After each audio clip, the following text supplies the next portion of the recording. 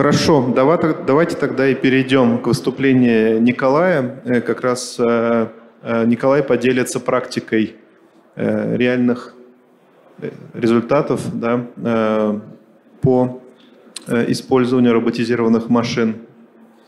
Николай. Да, спасибо. А, еще раз представлюсь. Меня зовут Николай Одинцев.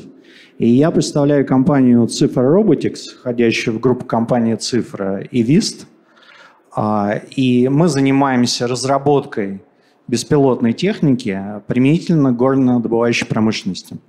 И я постараюсь здесь дать скорее взгляд с точки зрения разработчика, а, а не с точки зрения потребителя. Это первое. А второе, на что я хотел бы обратить внимание. А, все время про роботы говорят в будущем времени – то есть то, что к 2025 году или 2030 году или 2050 году что-то будет достигнуто. А, я недавно случайно читал учебник истории за 11 класс. И там говорится, что в 1985 году Михаил Сергеевич Горбачев, когда планировал э, средства преодоления кризиса, который тогда был, за счет ускорения интенсификации производства была целевая программа поддержки робототехники. Это просто как пример того, что вот тема роботов, она вечная, но она вечная в, применительно к будущему. А я хотел бы поговорить не применительно к будущему, а применительно к тому, что уже сделано. А, и я постарался, просто сделал над собой усилие, не вставлять в презентацию никаких схем, а вставлять только фотографии и скриншоты – от того, что есть уже сейчас. И я расскажу о наших конкретных проектах, где мы уже довольно много, очень много времени и усилий потратили и достигли хороших результатов вместе с нашими партнерами. В первую очередь, конечно, компания SOEC. Это внедрение беспилотных самосвалов и БелАЗ. А, здесь вот показана схема участка. Это участок отдельный, выделенный, где работают два полностью роботизированных самосвала. А, что здесь интересно? Вот э, в середине показана фотография рабочего места оператора. Это вот очень интересная иллюстрация к тому, что мы говорим, что меняются задачи людей – вот этого понятия оператор робототехнического комплекса, его не существовало, когда мы начинали этот проект. Мы предполагали более традиционную схему. Есть диспетчер, да, роботизированного комплекса, но диспетчер, и водители, которые могут подключаться дистанционно при необходимости. Жизнь показала, что это затратная схема, потому что людей требуется много для этого, но почти все время они ничего не делают. И сама жизнь нас заставила объединить вот эти две функции, которые на обычном предприятии нероботизированном абсолютно несовместимы, водитель-диспетчер, в рамках одного человека. По сути, бэкграунд э, человека, который э, там работает, это водитель, но такой, скажем, умный водитель, да, который хочет расти над собой и который готов освоить задачи по управлению парком техники. Но в то же время он может подключиться дистанционно и поуправлять машиной, если что-то идет не так. Дальше, очень важный момент. Мы эксплуатировали машины много месяцев, и мы, конечно, сталкивались с самыми разными условиями. А, и когда вот э, говорят про какие-то испытания техники, да, обычно а, то, что мы видим по телевизору, это то, что где-то а, какому-то высокому лицу было показано, продемонстрирована работа машины, которая там сделала один рейс или проехала там несколько километров по полигону. Вот здесь мы э, столкнулись с тем, что мы должны действительно не в один день а, там, при какой-то удаче правильно показать, а делать это изо дня в день в режиме 24 на 7. И, конечно, условия были самые разные, в том числе это снег, пыль, и снега, к счастью, в Хакасии мало, но вот пыли очень много. А, и для наших датчиков, для лидаров, которые стоят, там, скажем, на а, большинстве машин, а, претендующих на беспилотность, пыль – это одна из таких проблем, которые достаточно много потребовали усилий. И я бы не сказал, что работа полностью завершена. Очень важный момент – это обеспечение безопасности. И, конечно, надо понимать, что любая система, она может почему-то дать сбой, и по причине своих каких-то недостатков, по причине неправильно работы человека с этой системой. Мы постарались сделать систему безопасности многоуровневой. А, один из уровней – это когда а, есть центральная часть роботизированного комплекса, серверное программное обеспечение, которое взаимодействует со всеми машинами одновременно и координирует их взаимную э, работу. И одна из тем – это вот то, что мы с самого начала заложили очень такой хороший запас безопасности, потом постепенно улучшали работу и снижали какие-то а, а, снижали издержки. Это как раз разъезд двух машин, когда они, подъезжая друг к другу, снижали скорость и немножечко отходили друг от друга для того, чтобы а, повысить безопасность. Другой уровень безопасности – это то, что мы решаем на самой машине. Да, это задача очень близка к тому, что делает Яндекс и а, другие производители беспилотной техники, когда мы с помощью датчиков, то есть лидаров, машинного зрения и радаров, а, определяем объекты вокруг нас, определяем 3D-модель местности вокруг нас и можем двигаться. А сейчас мы э, получаем такой второй, э, второй сайт для а, нашего, а, наших внедрений в Беларуси на предприятии «Гранит». Это государственное предприятие, где у нас два самосвала и дистанционно управляемый погрузчик. То есть здесь мы будем уже говорить о том, что весь комплекс, включая погрузку, у нас оказывается роботизированным.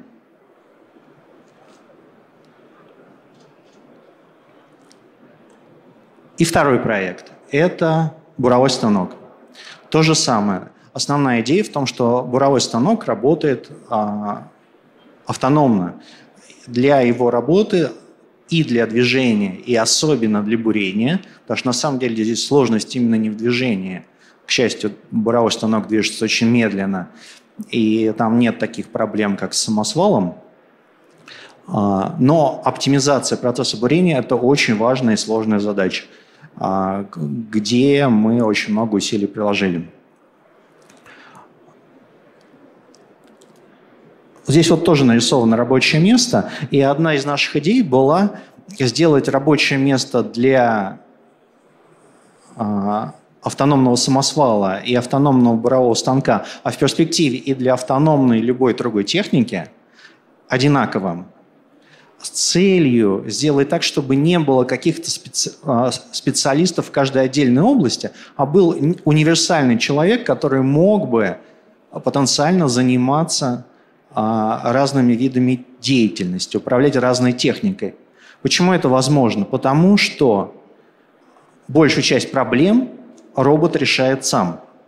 Даже когда мы говорим о дистанционном водителе, это не означает, что он должен а, рулить и сжать на педали. В первую очередь, он просто должен санкционировать потенциально опасные действия. По сути, ему надо кнопочку нажать, что да, он санкционирует действие или отменяет.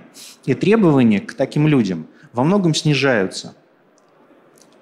И получается, что можно а, в рамках крупного предприятия или холдинга, например, такого как СУЭК, а, держать вот, та, вот таких новых специалистов и их оперативно перераспределять между различными предприятиями, особенно если их держать не на предприятии, а где-то в специальном центре управления, который может находиться за тысячи километров от, собственно, самого предприятия.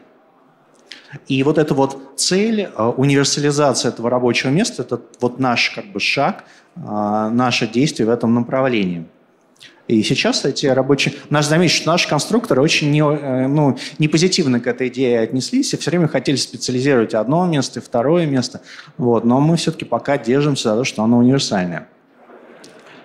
А, ну и, конечно, буровой станок, вот Ирина уже э, о нем рассказывала, что а, он, конечно, работает не в пустоте, он загружает план работы и систем верхнего уровня, где размещены все скважины – вот. Но при этом у оператора есть возможность просмотреть то, что загружено, связать это с реальностью, установить в некоторых случаях порядок передвижения по скважинам для их правильного бурения и уже запустить эту работу. И дальше буровой станок поехал по своим этим скважинам для того, чтобы их бурить.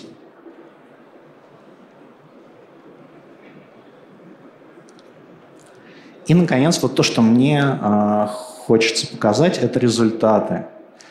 И э, вот те результаты, это э, для нашей компании, мне кажется, и для нашей страны, и для, э, конечно, наших партнеров, это очень значимый результат. Вот для меня это даже личный результат, потому что я стоял у истоков нашей компании и занимался разработкой программного обеспечения, и для меня это не, некоторый итог этой деятельности. И вот из этих цифр для меня больше всего, больше всего впечатляет это количество рейсов 10 тысяч и э, тонн, миллион, да, то, что мы перевезли в роботизированном режиме.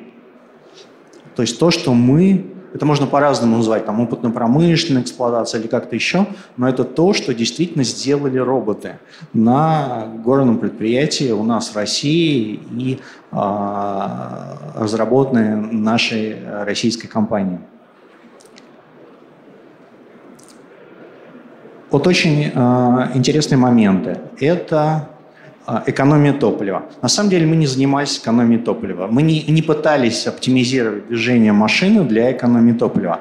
И я подозреваю, что здесь очень большой еще потенциал для оптимизации. Но почему это получилось? Почему само собой получилось, что робот тратит меньше топлива, чем человек? Потому что робот двигается плавнее, он медленнее э, нет э, таких очень сильных нажатий на педаль газа и нет очень сильных торможений. И вот здесь вот в оптимизации движения, да, когда мы стараемся, когда мы будем особенно стараться снизить потребление топлива и снизить нагрузку для машины для увеличения ее ходимости, здесь очень большой еще потенциал. И вот э, этот достигнутый результат, который есть уже сейчас, он уже о многом говорит. Другая тема – это производительность. С ней на самом деле не так все хорошо. Вот здесь есть число увеличения производительности до 23%. И, и, и Ирина тоже примерно об этом же говорила. Там можно смотреть а, либо по рейсам, либо по тоннам. Ну, цифры примерно одинаковые. Но дело в чем? Что для достижения этой производительности, конечно, нужно трансформировать работу самого участка. Что робот изначально попадает в среду, где работают люди. И люди все время, это касается там не только там горного предприятия, касается всей страны. Все привыкли мириться с какими-то недостатками вокруг себя. И понимают, что э, можно где-то что-то не доделать, тогда другой человек или как-то это сможет компенсировать. Например, там сломался экскаватор, там 4 часа стоял. Нужно выполнить план за смену, и водители ездят с превышением скорости. Но на самом деле возможно, что э, да, и внешне выглядит все очень хорошо, что план за смену был выполнен, но на самом деле это просто э, сокрытие того факта, что экскаватор вовремя не было проведено там достаточно качественное обслуживание. И здесь получается все время, что одна проблема скрывает другую, другая третью. В целом идет все как-то более-менее, но как только мы начинаем этот процесс формализовать, и говорить, кто за что отвечает, сразу вот эти все вещи выявляются. И с одной стороны можно сказать, что робот требует неких более комфортных для себя условий эксплуатации. На самом деле это и человек бы требовал для себя более условных, более удобных условий работы. Просто голос человека часто не слышен. Вот одна из ситуаций, да, например, робот не может работать с превышением скорости – из-за того, что кому-то сейчас нужно выполнить план за смену. Он работает так, как сделал производитель.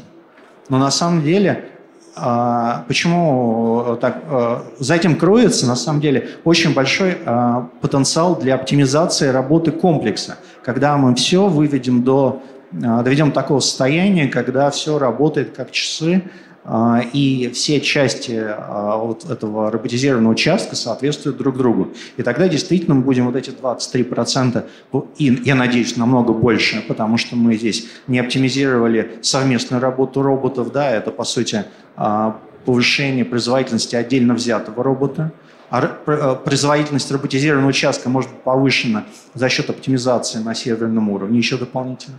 Вот. И вот эти параметры, они будут достигаться а, уже постоянно. Николай, благодарю. Очень э, хороший, развернутый, интересный рассказ. Действительно, мы понимаем, что это не только будущее, но и настоящее.